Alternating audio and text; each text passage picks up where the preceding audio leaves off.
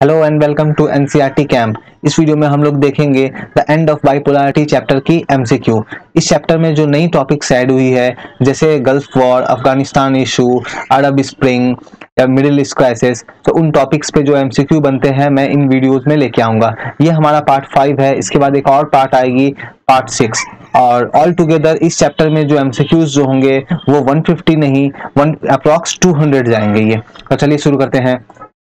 First question तो ये हमारा क्वेश्चन नंबर 146 है, क्योंकि ये पार्ट फाइव है। तो Hosni Mubarak had been in power in Tunisia since 1979 तो होसनी मुबारक पावर में थे ट्यूनिशिया में 1979 से पावर में थे। ये गलत है, क्योंकि होसनी मुबारक 1979 से नहीं, वो 1979 से ट्यूनिशिया में नहीं, वो इजिप्ट में पावर में थे, वो इजिप्ट में पावर में थे। तो स्टेटमेंट ये गलत है। His rule was collapsed as a result of massive democratic process और इनका जो रूल है वो खत्म हो गया बिकॉज़ काफ़ी सारे लोगों ने डेमोक्रेसी के लिए प्रोटेस्ट करने लगे। बिल्कुल ये करेक्ट है। आपको ये याद रखना होगा कि अरब स्प्रिंग के टाइम में हम लोग आगे देखेंगे। अरब स्प्रिंग के टाइम में काफ़ी सारे कंट्रीज़ में डेमोक्रेसी के लिए और भी ज़्यादा राइट्स के लिए प्रोटेस्ट होंगे। ऐसे ही राइट्स जो है ये इजिप्ट में भी होंगे, जिसके कारण होसनी मुबारक अपना सीट जो है वो लूज कर देंगे। तो हमें करेक्ट फाइन करनी है। Only two is correct option B assertion reason some observer we are calling first Gulf War a video game war तो कुछ ऑब्जर्वर फ़र्स्ट गल्फ वॉर को वीडियो गेम वार्ड बोल रहे थे। बिल्कुल ये सही है। Reason viewer around the world watching the destruction of Iraqi forces live on the TV in the in comfort of their living rooms तो जो टीवी जो देखने वाले जो लोग हैं, वो लोग वर्ल्ड के अलग अलग कॉर्नर में अपने घरों में बैठ के, वो बहुत बहुत ही आराम से वो जो है, ये पूरा ये जो वॉर हो रहा था फ़र्स्ट गल्फ वॉर जो हो रहा था, उसे अपने घरों में बैठ के देख रहे थे। बिल्कुल ये करेक्ट है। क्योंकि देखो, जब फ़र्स्ट गल्फ वॉर हो रही थी, उस समय हुआ ये कि यूएसए जो है वो यूएसए के साथ में काफ़ी सारे ग्रुप ऑफ़ कंट्री थे, वो इराक के ऊपर जब अटैक कर रहे थे तो ये सब कुछ जो है वो टेलीविज़न में टेलीकास्ट किया जा रहा था टीवी में दिखाया जा रहा था। और दुनिया भर के लोग अपने घरों में बैठ के उसे देख रहे थे तो इसे, इसीलिए हम लोग इसे वीडियो गेम वॉर भी बोलते हैं। क्यों? क्योंकि ये बहुत, ये ये पूरा इवेंट जो है, ये एक तरह से गेम की तरह नज़र आ रहा था। तो रीजन बिल्कुल करेक्ट है तो यहाँ आंसर होगा option A first Gulf War took place. तो फ़र्स्ट गल्फ वॉर जो है, ये कब हुई थी? फरवरी 1991 फरवरी 1919 फरवरी 1993 या फिर अगस्त 1991 आपको याद रखना है, ये इवेंट हुई थी फरवरी 1991 में। Option B the twin tower of the World Trade Center is in तो ये जो ट्विन टावर वाली जो बिल्डिंग है, जिसके ऊपर 9/11 वाली अटैक हुई थी तो so ये कहाँ है? Washington London New York Denmark correct answer है option C New York New York जो है यूएसए में है और वहाँ पे ये 9/11 वाली अटैक हुई थी। आपको याद रखना है, जब हम लोग 9/11 अटैक हम लोग बोलते हैं तो यहाँ पे ये जो 9 जो है, ये क्या है? ये है मंथ और 11 क्या है? ये डेट हमारे कंट्री में कैसे हम लोग यूज़ इंडिया में हम लोग कैसे फॉलो करते हैं? हम लोग पहले डेट लिखते हैं, फिर मंथ लिखते हैं और फिर ईयर लिखते हैं। यूएसए में वो लोग पहले मंथ लिखते हैं, फिर डे लिखते हैं, बाद में ईयर लिखते हैं। तो पहली वाली ये जो है, ये मंथ है एक्चुअली तो नाइन मतलब सितंबर और इलेवन जो है वो डे हो गई। The attack of twin tower of the world trade centre in New York happened on तो ये जो अटैक हुई थी ट्विन टावर वाली नाइन इलेवन वाली तो ये कब हुई थी? तो यहाँ पे आपको याद रखना है नाइन इलेवन नाइन मतलब सितंबर तो सितंबर इलेवन तो होगी, इसे हम लोग कट कर सकते हैं। सितंबर में जो है ऑप्शन बी 2001 11 सितंबर 2001 में ये जो है ये अटैक हुई थी। Highway of death is a road between. तो ये जो हाईवे ऑफ़ रोड है, ये कहा, ये रोड कौन से दो प्लेस को कनेक्ट करती है? तो हम लोग देखेंगे, यहाँ करेक्ट आंसर होगा option B, Kuwait and Basra. Actually ये है क्या? आपको याद रखना होगा कि यूएसए ने अटैक किया था इराक के ऊपर, फ़र्स्ट गल्फ वॉर के टाइम में। यूएसए ने अटैक किया था इराक के ऊपर, बाद में जब इराक की फोर्सेस जो पीछे आने लगी, इराक की फोर्सेस जब अपने जो है, जहाँ पे उन्होंने एक्चुअली ऑक्यूपाई किया था कुवैत को, वहाँ से बाहर निकल के जब जाने लगी तो जब वो एक रास्ते में थे तो यूएसए की जो मिलिट्री जो थी डिफेंस जो थी, उन्होंने काफ़ी अटैक किया था उन फोर्सेस के ऊपर। तो वहाँ पे काफ़ी लोगों की अनफॉर्चुनेट डेथ हुई, भी हुई थी बिल्कुल। तो इसीलिए इसे हाईवे ऑफ़ डेथ बोलते हैं। तो ये है कहा कुवैत एंड बासरा को कनेक्ट करती है Dash army was attacked by American during first Gulf War in February 1991. First Gulf War जो है, इस समय यूएसए ने अटैक किया था इराकी फोर्सेस के ऊपर। तो इराकी आर्मी जो है, उनके ऊपर अटैक की गई थी अमेरिका के द्वारा। और ये पूरा इवेंट हुआ था, याद रखना है आपको डेट फरवरी 1991 find incorrect Iraqi army was attacked by American during the first Gulf War in February 1991 when they were returning. So बिल्कुल इराकी फोर्सेस जब रिटर्न हो रही थी तब अमेरिका ने उनके ऊपर अटैक किया था और ये पूरा इवेंट जो है ये फरवरी 1991 का है फ़र्स्ट गल्फ वॉर का है तो बिल्कुल ये करेक्ट है हम लोग देखेंगे second statement many observer have called it a war crime and the violation of Georgia convention देखो, जब वॉर होती है तो वॉर करने के लिए भी कुछ रूल्स एंड रेगुलेशंस होते हैं। जब दो कंट्री के बीच में जब वॉर होती है तो वहाँ भी कुछ रूल एंड रेगुलेशन जो है, वो फॉलो करना होता है। और ये सारा, ये सब कुछ कहा मेंशन है? जॉर्जिया कन्वेंशन में नहीं। ये मेंशन है ये वाली जो ये मेंशन है ये है जेनेवा कन्वेंशन में। सो so, जेनेवा कन्वेंशन में इन वार्ड्स वगैरह के रूल्स को लेकर के काफ़ी कुछ रूल्स है।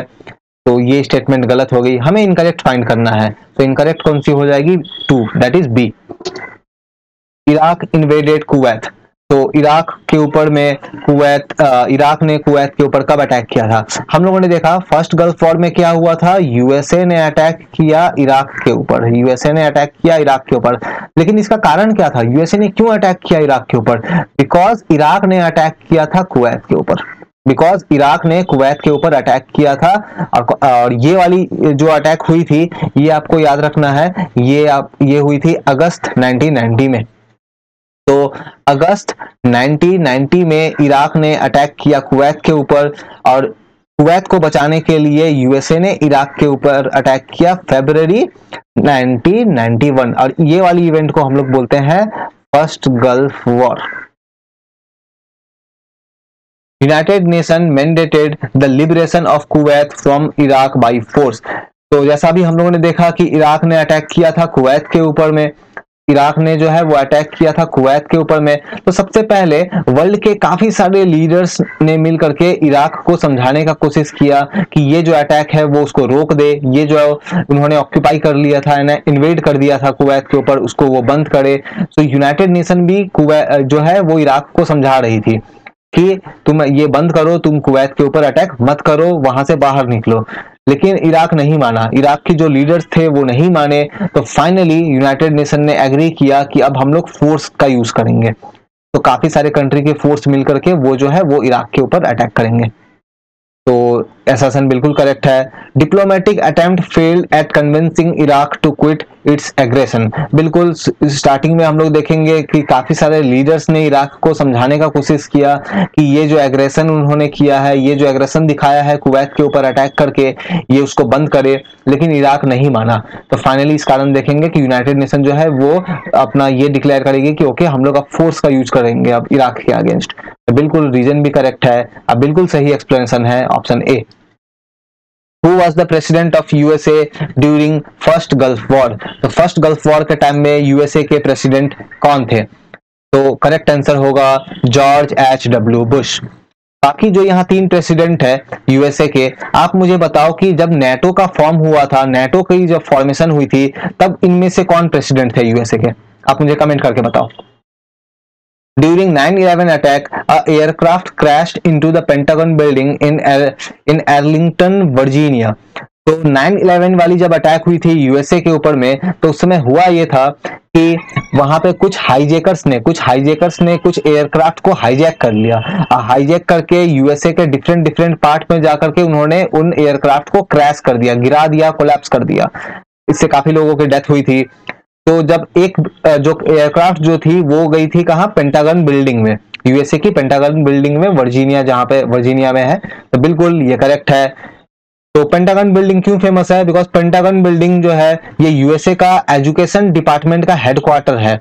ये गलत है। एजुकेशन डिपार्टमेंट का नहीं डिफेंस डिपार्टमेंट का हेडक्वार्टर है। तो ये वाली गलत है। हमें करेक्ट फाइंड करना है। तो only one is correct option A group of how many country fought against Iraq तो हम लोग ये देखेंगे कि इराक जो है, ये जब कुवैत के ऊपर अटैक करेगा इराक जो है, ये जब कुवैत के ऊपर अटैक करेगा तो पहले तो इराक को समझाया जाएगा कि ये वो बंद करे, लेकिन जब इराक नहीं मानेगा, तब यूनाइटेड नेशन जो है ये काफ़ी सारे कंट्री का एक ग्रुप बना करके ये जो है फोर्स यूज़ करेंगे इराक के अगेंस्ट तो उस टोटल ये जो ग्रुप जो थी इसमें टोटल कितने कंट्री थे? 32, 38, 34 या फिर यूनाइटेड नेशन की सभी कंट्री थी।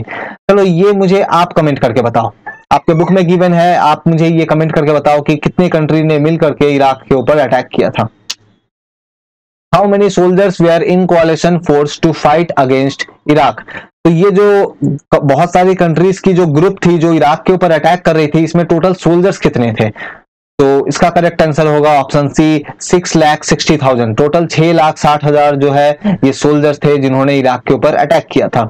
और ये कोalition फोर्स थी। मतलब इसमें बहुत सारे कंट्रीज़ के, इसमें बहुत सारे कंट्रीज़ के जो है सोल्जर्स यहाँ पे प्रेजेंट है United Nation operation against Iraq in 1991 was called तो यूनाइटेड नेशन ने ये जो ऑपरेशन किया था इराक के अगेंस्ट में इराक के ऊपर जो अटैक किया था तो इस ऑपरेशन का नाम क्या था?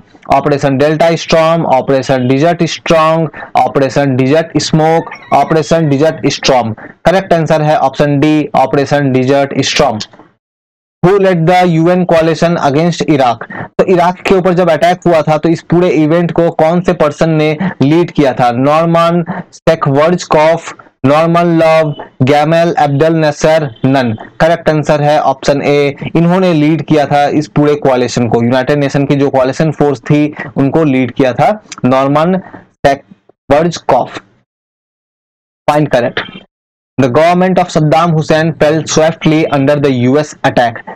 आपको एक चीज़ बहुत अच्छे से याद रखनी है, इराक के ऊपर जो है, एक तो अटैक होगी 1991 वाली, जिसे हम लोग बोल रहे हैं फ़र्स्ट गल्फ वॉर इसके बाद भी फिर एक और अटैक होगी। इसके बाद जो है 2003 में भी एक अटैक होगी यूएसए अटैक करेगा।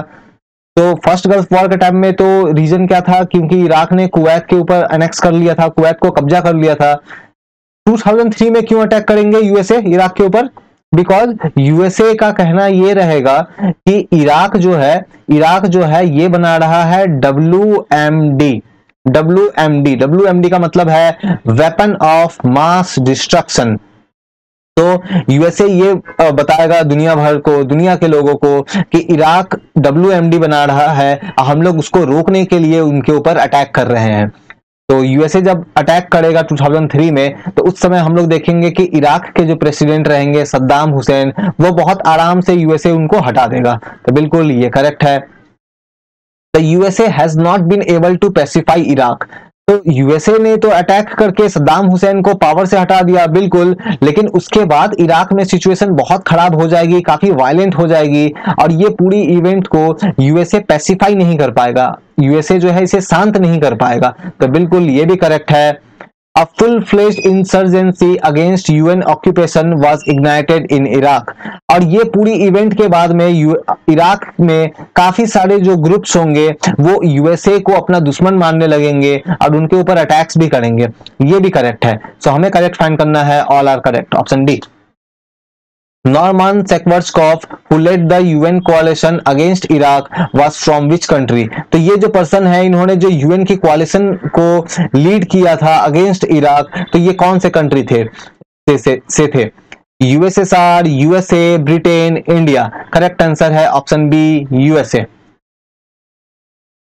in coalition force dash percent of were from the US तो यूनाइटेड नेशन की जो कोलेशन फोर्स थी, उसमें टोटल कितने परसेंट अमेरिका से सोल्जर्स थे? हम लोगों ने अभी देखा, लगभग छह लाख साठ हज़ार सोल्जर थे total six lakh sixty thousand soldiers थे। उनमें से अबाउट 75 परसेंट सोल्जर्स जो थे, वो सिर्फ़ यूएस के थे। अब बाकी 25 परसेंट जो है अलग अलग कंट्रीज़ के थे। तो हमारा आंसर है ऑप्शन बी 75 परसेंट जो है, वो यूएस के सोल्जर्स थे। Who was the Iraqi president during first Gulf War? तो फ़र्स्ट गल्फ वॉर जब हो रही थी तो उस समय इराक के प्रेसिडेंट थे option A Saddam Hussein The first Gulf War revealed the vast technological gap that had opened up between the US military capability and that of other states. तो बिल्कुल फ़र्स्ट गल्फ वॉर जब हो रही थी और America जब attack कर रहा था इराक के ऊपर में तो बाकी सारे कंट्री के, जो बाकी, जो पूरे वर्ल्ड थे, वो काफ़ी शॉक्ड थे, वो काफ़ी हैरान थे यूएसए मिलिट्री की टेक्नोलॉजी को देख करके। यूएसए मिलिट्री बहुत सारे नए नए टेक्नोलॉजी के वेपन्स यूज़ कर रहे थे और ये देख करके पूरी दुनिया जो है, वो काफ़ी हैरान थी। वो उनको ये लग रहा था कि हम लोग तो काफ़ी पीछे हैं और यूनाइटेड स्टेट जो है, वो टेक्नोलॉजी में काफ़ी आगे बढ़ चुका है। तो बिल्कुल ये ट्रू है।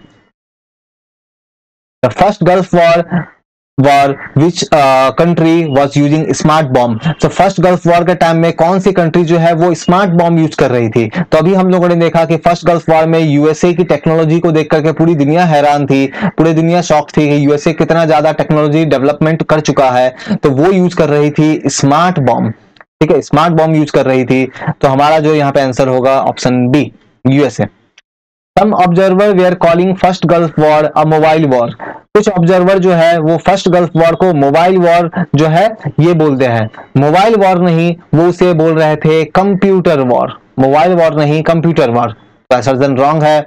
During first Gulf War USA was using smart bomb तो बिल्कुल यूएसए जो है, वो स्मार्ट बॉम्ब यूज़ कर रहे थे। तो स्मार्ट बोलने का मतलब ये है कि उसमें काफ़ी सारी ऐसी टेक्नोलॉजी रही होगी जिसमें कंप्यूटर यूज़ हो रहे होंगे। इसीलिए उसे कंप्यूटर वॉर भी बोलते हैं।